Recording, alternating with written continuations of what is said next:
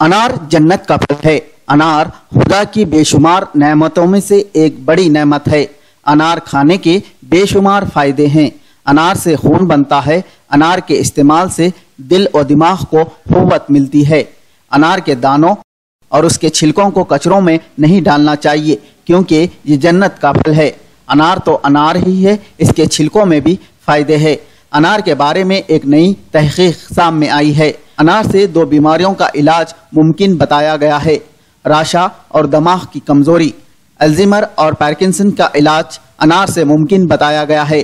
یہ دعویٰ نائجیریا کے سائنسدان ڈاکٹر علوما یاکون نے کیا ہے۔